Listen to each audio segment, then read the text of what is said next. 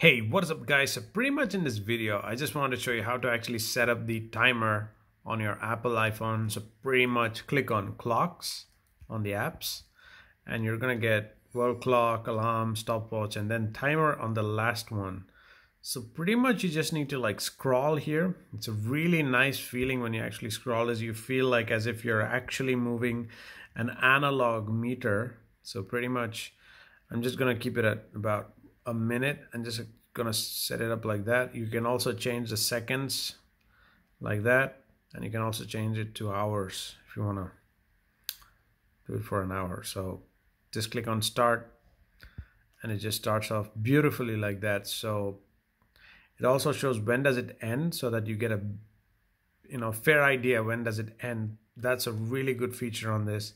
So there you have it guys. Thank you for watching give a big thumbs up if you did like the video and do subscribe and you can basically pause in case if you want to just sort of like stop it. So there you have it. And you can just cancel on it. Pretty much like that. Yeah